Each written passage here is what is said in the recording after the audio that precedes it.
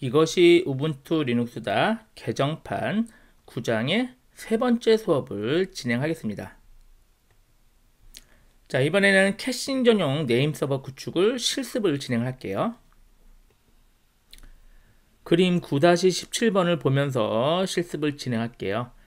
자, 우리 서버 가상 머신을 초기화 시켜 놓으세요. 전에 거랑 혹시 꼬일 수 있으니까 초기화 시키고 작업을 진행하세요. 자, 터미널 열고 먼저 얘를 caching 전용 name server로 구축하기 위해서는 먼저 패키지를 설치하겠죠. 그래서 apt로 install로 bind 구하여 마이너스는 하나죠. bind 구랑 bind 구 utils 두 개를 설치해 주면 됩니다.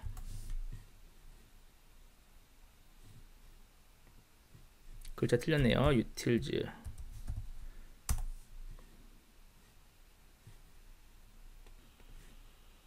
또 틀렸네요. 자, bind구 utils 됐죠? 자, 설치되면 또 이어서 얘기하죠.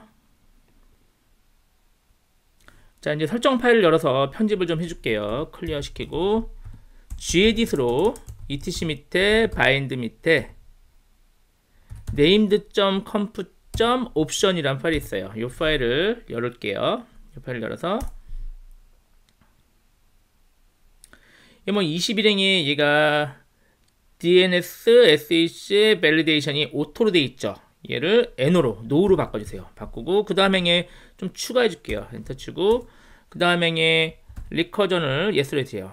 recursion yes 세미콜론으로 닫아주고요.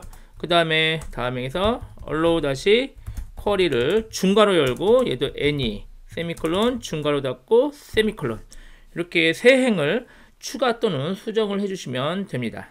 됐죠? 저장하고 닫을게요. 자, 네임 서버를 작동시킬게요. 우리 많이 했던 시스템 CTL이죠. restart name server의 이름은 named예요. named 엔터 치고 아무 메시지 안 나면 잘 된 거고요. 우리 확인해 볼까요? status로 현재 상태를 확인하면 잘 돌고 있죠. active running 잘 되고 있고요. 컴퓨터를 껐다 켜도 name server가 계속 작동하게 하려면 Q 누르고 뭐였죠? 우리 enable이었죠. 여기서 enable named 하면 컴퓨터를 껐다 켜도 이제 작동이 되게 설정이 완료됐어요. 자, 그 다음에 우리가 외부에서 들어오기 위해서 방화벽을 꺼줘야 돼요. 방화벽은 ufw allow 하고 53 슬래시 tcp를 안 적어주면 기본이 tcp 돼서요. 그냥 53으로 적어주면 얘가 현재 53번 포트가 열, 그러니까 허용이 되었습니다. 자, UFW status로 확인할 수도 있어요. 그러면 현재 허용된 포트가 확인이 돼요. 그래서 지금 53번이 허용이 된 것을 확인을 할 수가 있어요. 자, 그럼 구축한 네임 서버가 잘 작동하는지 먼저 테스트하는 게 좋아요. 그럼 서버에서요, 그냥 우리 명령어 중에 dig라는 명령어가 있어요. 그리고 골뱅이하고 네임 서버 IP인데 우리 네임 서버가 현재 우리 100번이죠. 100번을 적어 주시면 돼요. 192 168 111 100하고 그 다음에 이제 찾고자 할 도메인 우리 네이트 할까요? 네이트.com 이렇게 치면은 얘가 네이트.com에 대해서 현재 접속해서 응답을 해주는 겁니다. 이렇게 나오면 정상적으로 응답하는 것을 확인할 수 있죠. 이게 알아냈죠. 뭐 이걸로 해도 되고 nslookup도 돼요. 똑같아요. nslookup nslookup으로 현재 서버를 확인하면 서버가 얘가 지금 자기 자신인데 우리 서버를 지금 이걸 바꿀게요. 그래서 얘를 서버 192.168.111.100번으로 바꾸면 지금부터 요걸 쓰겠다. 우리가 구축한 거죠. 그리고 이제 네이트.com 이렇게 물어보면 되죠. 잘 응답하죠. 다른 것도 마찬가지죠. 다음.net 하면은 잘 응답을 합니다. 그럼 지금 우리가 서버에서 구축한 caching 전용 네임 서버가 물어보면 얘가 밖에 나와서 다 알아다가 알려주는 것까지는 확인이 됐어요. 그러면 이제 뭐 하면 되죠? 얘를 진짜 사용하면 되죠? 클라이언트 가상 머신을 켜서 얘를 사용하도록 이 설정만 좀 바꿔보도록 하죠. 자, 클라이언트 가상 머신을 초기화하고 제가 부팅까지 했어요. 자, 얘를 가지고 이제 터미널 열고요. 터미널 열어서 얘를 확인해 볼게요. 얘를 이렇게 접속하면 되는데 우리가 nslookup을 여기서 써도 되거든요. 한번 사용해 보죠. ns 룩업으로 자, 서버를 바꿔야겠죠? 192, 192, 168, 111.100번으로 바꿀게요. 자, 글꼴 크기 좀 바꿨어요. 크게. 자, 자, 그럼 서버가 얘가 지금부터는 이걸 안 쓰고 얘도 얘를 쓰겠다 설정을 했죠. 그리고 떴떴떴점 뭐 네이버닷컴 아무거나 물어보면 얘가 잘 IP를 응답을 해주네요. 그럼 정상적으로 현재 얘가 얘를 쓰는 것을 확인을 한 거예요. 자, 빠질까요? 자, 이제 우리가 얘를 완전하게 얘를 쓰려면은 resolve.comp에서 설정을 바꿔주면 되겠죠. 자, 수두로 바꿔야 돼요. 왜냐면 이거 관리자의 권한이 필요해요. 수두 나노로 etc 밑에 resolve.conf 하면 수두 쓴 다음에 쓰면은 얘가 관리자 권한으로 이 명령어가 실행이 되는 거예요. 엔터. 그럼 우분투 암호인 우분투를 입력을 해주시면 돼요. 그럼 이제 여기서 보면 지금 얘가 네임 서버가 뭘로 되어 있어요? 1270053으로 되어 있죠. 얘를 지우고 우리가 구축한 서버 컴퓨터의 IP인 192.168.111.100번 이렇게 얘가 이제 계속 얘를 쓰겠다 지정을 한 거예요. 컨트롤 X, Y, 엔터 치면 저장이 된 거죠. 자, 그럼 얘가 이제 앞으로 웹 서핑을 할 때는 또는 도메인을 도메인이 필요할 때는 얘한테 물어보고 얘가 밖에 나가서 알아다가 알, 알아서 이렇게 해서 얘한테 전달해주는 그런 과정이 완료가 되었습니다. 자, 웹브라우저로 아무나 들어볼까요? 아무데나 들어가 보죠. 자, 웹브라우저 띄워서 뭐 아무 사이트 들어가든 관계없이 동일하게 접속이 됩니다.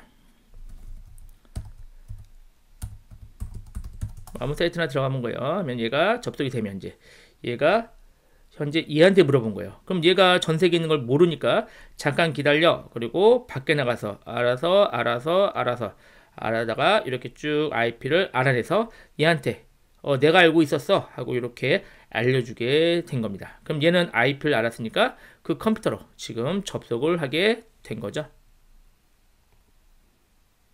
자 이번에는 서버 B 가상 머신을 초기화하고 부팅을 하세요. 그리고 얘도 똑같이 써볼게요.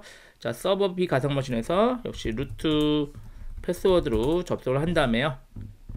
자 얘한테 설정을 한번 바꿔보도록 하죠. 자 얘도 역시 나노 에디터로 사용해 볼게요. 클리어하고 나노 etc 밑에 resolve.comp를 열어서요. 자 얘도 뭘로 바꿔요? 아까 우리 우리가 구축한 192.168.111.100번. 이제 뭐 하는지 아시겠죠 그 지금 얘도 얘를 사용하고 얘도 얘를 사용할끔 설정을 바꾸는 거죠 자 컨트롤 X, Y, 엔터 해서 저장까지 했습니다 자, 얘도 바로 이제 우리 nslookup 해볼까요? nslookup. 어, 설치가 안 됐으면요. 설치해 주시면 자지 nslookup 설치가 됐을 텐데. 예, 됐네요. 얘도 서버를 확인하면요. 우리가 바꾼 100번이 보이죠? 그리고 역시 따따따 뭐 네이트닷컴 하면은 뭐 잘 알려주겠죠. 한빛.co.kr 뭐 다 알게 돼서 얘가 어차피 자기가 다 아는 척하고 알려주고 있습니다. 자, 웹서핑은 지금 웹브라우저가 없으니까 안 되긴 하는데 우리 텍스트용 웹브라우저가 있어요. 그거 한번 써볼게요. 자, EXIT로 빠지고요.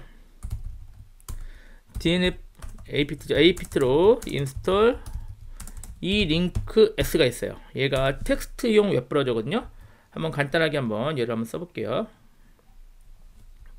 자, clear하고 elinks로 하고 하면 이제 접속이 되는 거예요. 텍스트 환경이 웹브라우저고 그래서 한글 사이트 들어가면 깨지거든요. 그러니까 영문 사이트를 들어가는 게 좋아요. 그리고 오케이 누르고 우리 커널 사이트 들어볼까요? 따따따.kernel.org 들어가면 이제 우리 커널 다운로드 사이트니까 여기 영문으로 돼 있죠. 그래서 여기서 제가 사용을 할 수가 있어요.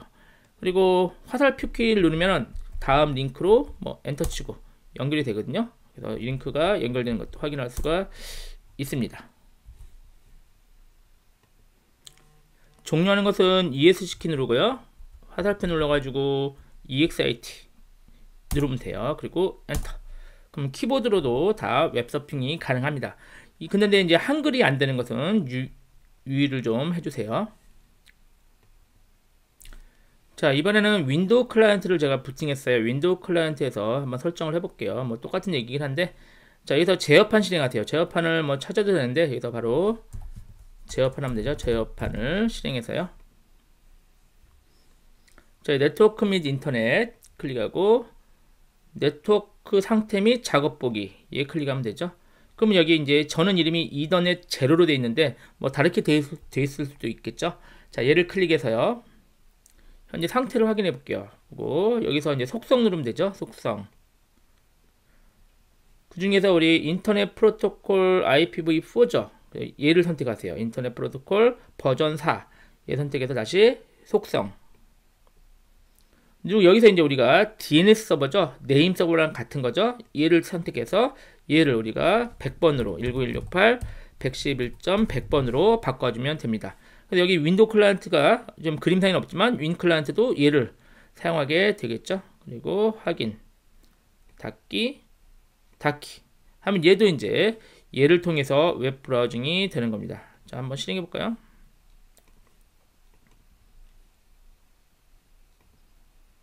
뭐 아무데나 들어가면 되겠죠? 한빛 들어갈까요? 한빛.co.kr 역시 잘 접속이 되는 것을 확인할 수가 있습니다. 자, 다시 원래 자동으로 IP를 바꿔볼게요. 그러면 아까 거기서 다시 또 해도 되는데 이제 좀 간편하게 명령으로 해볼게요. 그래서 시작에서 마우스 오른쪽 버튼 눌러서요. 윈도우즈 파워쉘 관리자를 여세요. 또는 명령 프롬프트 관리자도 돼요. 얘 눌러서 자 여기서 ipconfig를 보면요.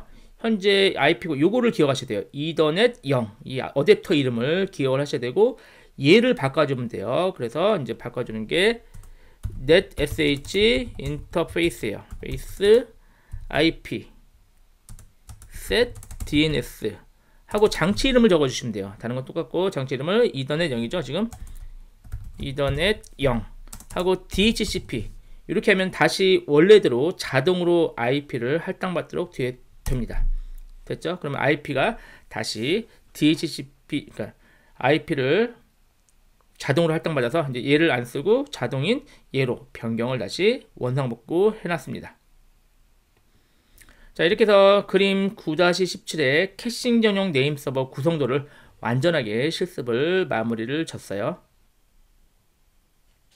비타민 퀴즈 9-1을 통해서 지금까지 작업한 것을 한 번 더 연습해 보시기 바랍니다.